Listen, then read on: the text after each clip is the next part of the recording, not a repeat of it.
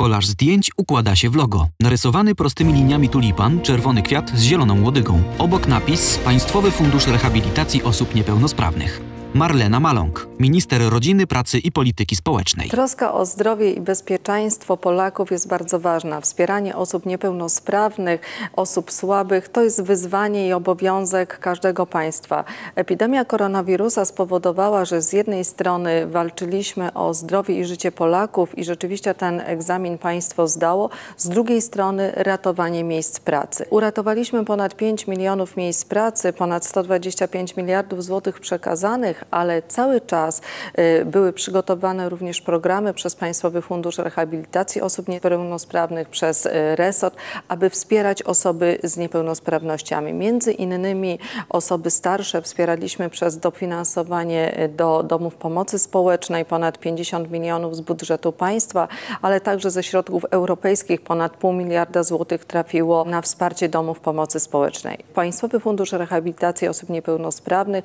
zadbał także o osoby niepełnosprawne, które zamknięcie warsztatów terapii zajęciowych, środowiskowych domów samopomocy spowodowały, że osoby niepełnosprawne potrzebowały dodatkowej rehabilitacji. Takie środki zostały uruchomione. Dzisiaj podpisujemy umowę, która przede wszystkim pozwala warsztatom terapii zajęciowej doposażyć i zabezpieczyć zarówno uczestników, jak i pracowników w środki ochrony osobistej. Umowa podpisana na ponad 17 milionów złotych i będą to dobrze zainwestowane pieniądze, aby zabezpieczyć przede wszystkim uczestników, pracowników przed y, falą ewentualnie nowej epidemii koronawirusa. To jest bardzo ważne działanie, które przede wszystkim jest tym działaniem zabezpieczającym bezpieczeństwo osób uczestniczących w warsztatach. Białe tło. Logo Państwowego Funduszu Rehabilitacji Osób Niepełnosprawnych. Logo rozsypuje się w kolaż zdjęć.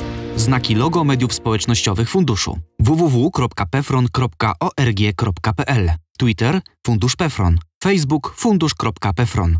YouTube Pefron. Instagram pefron podkreśnik org pl.